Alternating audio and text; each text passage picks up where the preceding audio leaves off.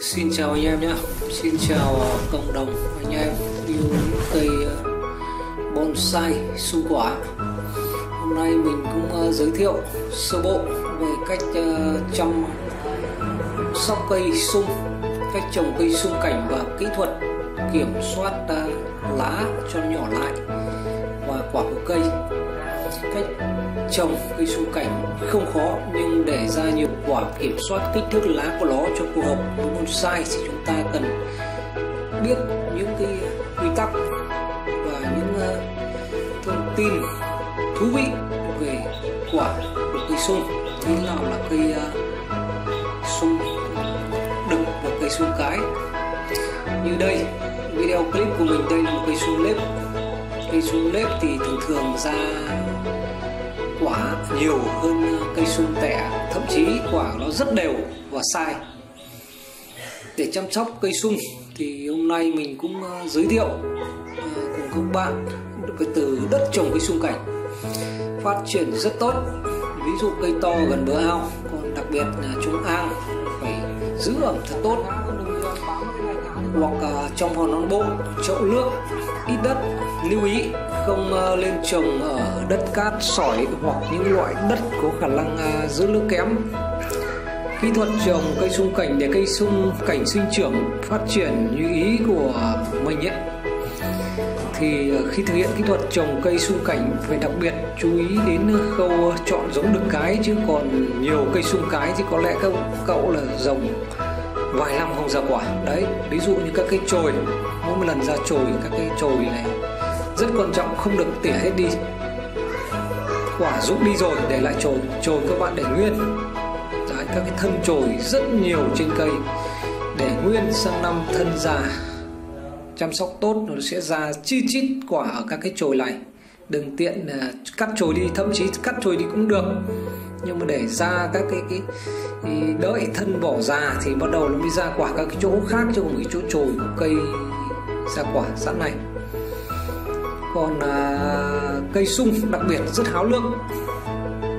Thường thường là các bạn phải đủ nước thường xuyên hàng ngày.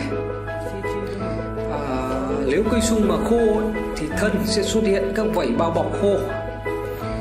À, không cần về lo về đất úng bởi vì bản chất của sung là thích nước.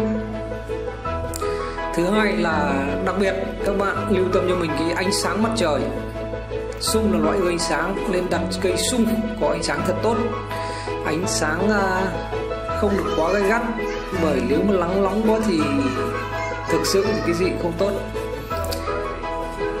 À, cách làm cây sung lá nhỏ lại. Thì à, các bạn là phải chăm bón tưới nước bình thường.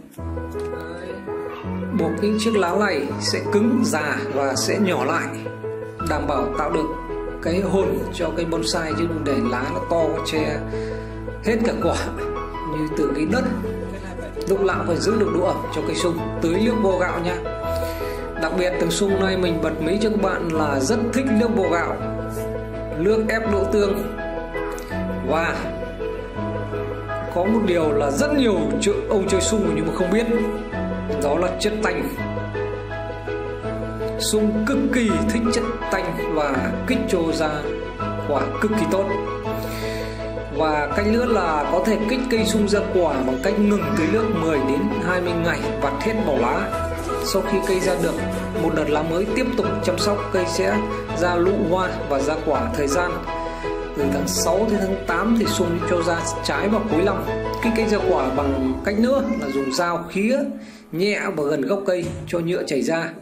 Như vậy, sẽ mau cho ra quả hơn còn nếu trồng cây trong chậu ấy lên thay uh, sang chậu to để giữ cái cái cái, cái uh, chất bổ sung phân vi sinh hoặc NPK NPK là cũng rất tốt nhá chứ không được cho nhiều. Và ngừng tưới nước. Sau 2-3 tháng cây sẽ ra lá và quả mới. Đây là những cái uh, kỹ thuật rất đơn giản để chăm sóc cây sung. Như ngay cây sung của mình thì mình chăm sóc rất đơn giản thôi. Mà đấy, nó ra chiếu chín quả. Quả đợt này thì hơi vàng sau đợt này. Mình à, sẽ à, vặt bỏ chút tất cả cành lá và mình sẽ uốn theo cái mình thích. Ờ, để à, trồng và chăm sóc cho cái đợt tên này kỹ thuật trồng chăm sóc cây sung cảnh thì không cần đòi hỏi phải quá cầu kỳ hay tỉ mỉ. Rất đơn giản các bạn ạ. Cho nên là là, là cây